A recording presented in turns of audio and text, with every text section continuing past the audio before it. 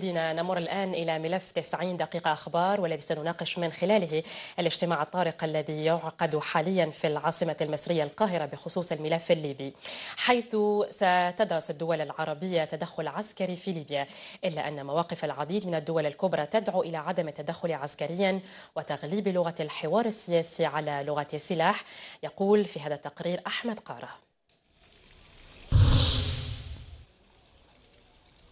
تتجه الأنظار الثلاثاء إلى القاهرة التي ستكون على موعد مع اجتماع حاسم لدراسة طلب ليبيا تدخل عسكري عربي لوقف تمدد داعش الذي أحكم سيطرته على مدينة سرت ودرنا. وتتباين مواقف الدول العربية إزاء آلية حل الأزمة الليبية. ويصطدم أي تحرك عربي تجاه ليبيا بمواقف الدول الكبرى وعدم قدرة فرقاء الأزمة الليبية على الجلوس إلى طاولة واحدة لصياغة تصور لإنهاء سيطرة داعش على العديد من المدن. أهلنا في ليبيا عامة. ما يراد به هو عملية تأشيش الموقف في الوضع الليبي والتدخل العسكري خاصة أن مصر يسير لها هذا الدخول في ليبيا وآمل من الجزائر أن تكون أداة ضغط لعدم الدخول مصر لليبيا لأنه سينتج عنها تقسيم ليبيا بين شرق وغرب.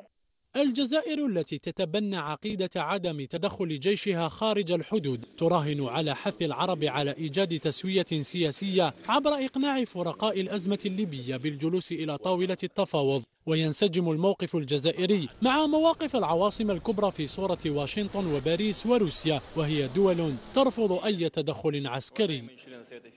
هو حقيقة الموقف الجزائري الآن يعتبر موقف معتدل ومتزن لحل الأزمة الليبية. وهذا حتى المغرب العربي حقيقة سواء تونس أو المغرب أو غيرها لا يريدون التدخل العسكري. ولكن ما يتصدر الموقف هو حقيقة الجزائر التي تسعى بقوة لعدم وجود تدخل عسكري في ليبيا. الجزائر وعد حتى بعملية التدخل العسكري في جنوب الليبي وتعلم جيدا ما صنع فرنسا.